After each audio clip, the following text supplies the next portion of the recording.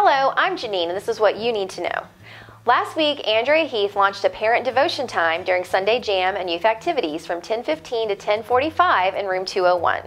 This allows parents time to enjoy fellowship and Cafe Connect and move upstairs for a guided discussion and devotional to connect together.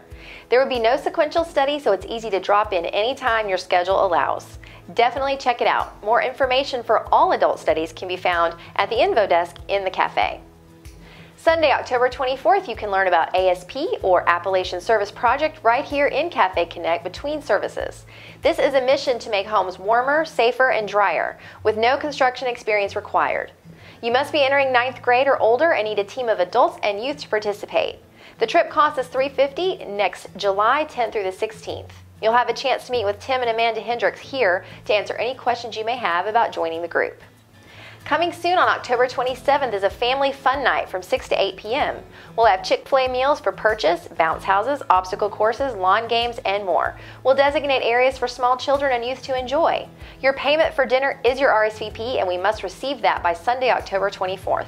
Simply go to our website to sign up. Bring your lawn chairs and enjoy a fun time together. The RHUMC Classic Golf Tournament is fast approaching October 30th with a shotgun start at 8:30 a.m.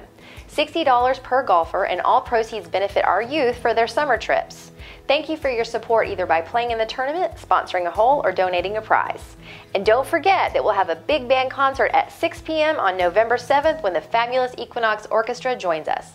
This will be a fun event for all ages. That's all for now. Thank you for joining us.